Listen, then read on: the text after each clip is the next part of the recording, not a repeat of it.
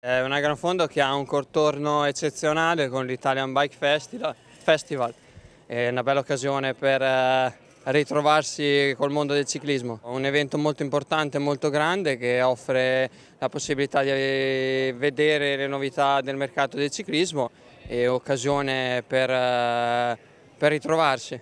Manuel, tu naturalmente hai pedalato ad altissimi livelli, ma qual è l'emozione di pedalare dentro un autodromo?